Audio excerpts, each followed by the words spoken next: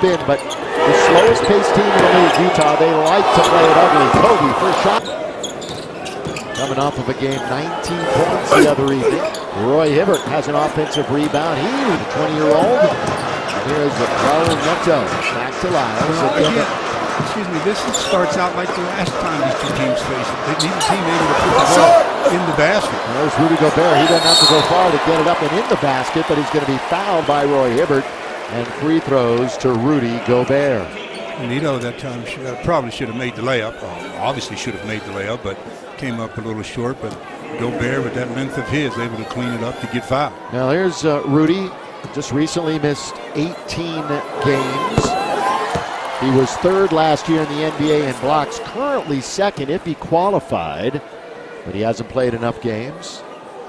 The Stifle Tower, the French rejection. Well, he has really made a name. For, it was, yeah. Their, yeah, it was their first game under 73% from the line since Christmas. Neto, Kobe, standing on the line for a long two. Clarkson, oh, got in there very deep. That one just rolled off the rim, and Gobert has the rebound. D'Angelo goes baseline now to Randle. That's a good fake. Now he's attacking gets the basketball. Mr. Reliable on the offensive end. He has uh, six points to lead the Lakers 50% shooting. Gobert, offensive rebound, stayed with it as they beat well, Tarik Black. The target. Now 17 again. Oh, Russell fakes throwing it. Here's Burke. Misses with, he has the rebound away from Randle, throws the layup, tipped up and in. Kobe Bryant fan didn't get a chance to play against him last week. He certainly is tonight. His shot is off, rebound. Gobert stays with it, counted foul as Hibbert couldn't beat the Stifle Tower. And that's one that you have to beat him because you Hibbert had inside position, both about the same size. You can't let him come from behind and get the rebound. And that's what happened. He gets a three-point opportunity. Find a body, put your little booty on him first, then go get the ball off the glass. Gobert averages nearly 10 rebounds a game. Look at that, 8 and 8 already in this first half. 56% being shot by Utah. Eight to shoot. D'Angelo's going to let it go as Net Kobe on its way. It nearly falls down. Now they've got to get into it. They're in a bit of a scramble mode with Hood. But they've got Gobert in very deep, and he gets from Staples Center, shooting three for 21 until tonight. So it's nice to see him, as Chris just mentioned, knock down two shots this evening. On the road as Gobert will shoot another free throw. By the way, only one player in the game in double figures, and that is Trey Burke. He's four out of six in his 11 minutes on the floor. Roy comes to get it, stops the dribble. Now to Ryan Kelly working on Hood. That's two two players going at each other. Right. Clarkson now to Brown. Oh, he goes right around Gobert. Reverse layup. Boy. Great effort, just couldn't finish. That's for sure in the second half as he just played minimal minutes uh, after uh, uh, before hurting the knee. That's lob under the Gobert, so not a good start for the Lakers here in quarter number. Cam of the uh, Jazz running dribble penetration and throw it up and let Rudy, Rudy Gobert throw it down. Good setup by Gordon Hayward. At Portland.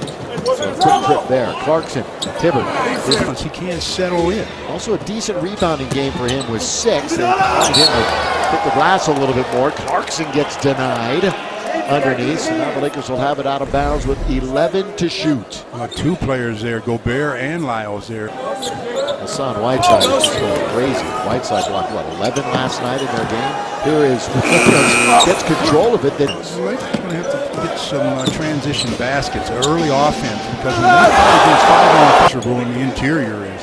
Julius Randle finds out, trying to shoot the little jump hook and go. You know, again, this apparently is a bad matchup for the Lakers because they were awful against Utah last week, and they're equally as bad here tonight, scoring 40 points. And we're five minutes already into the third quarter. Jazz currently on a 14 to 2 run to open the third, and we're not sure if we're going to see Kobe again. The key, though, you know, seven minutes and 15 seconds to play in the third. The Jazz have already put up 74, make it 75 on 54% shooting from the field and 63 from behind the arc. That that's just uh, yeah. speaks volumes for the other end of the floor yeah. for the Lakers. Yeah, and offensively, this is the second year in a row that Utah's held the Lakers to their season low. I'm so upset. He, he reinserted a couple of starters. Think about that. Gobert is back in by Kelly.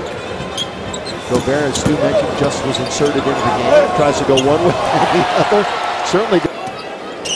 Hasn't been quiet by the team. Yeah. Last four against the Lakers, he's averaged 25. He's got 14. Post himself, and that's one way to get better, Stu. Get those older brothers getting out there with the older guys. Uh, a little easier to get better quicker. Yeah. older brothers always seem to want, do one thing. They make you a little bit tougher, that's for sure. Another, Five blocks another for rejection by the what you call it. Did you ever ask him? I, I think he no, but I think you got to ask him. You can't be using stuff that he doesn't like. It's pretty common that they use. Hey, the French. Here's D'Angelo Russell.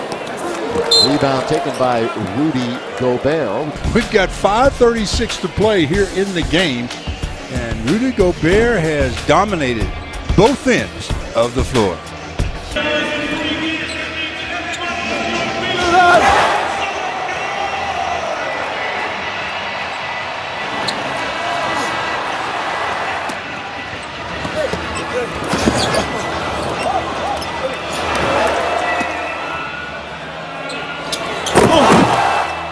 And it's good.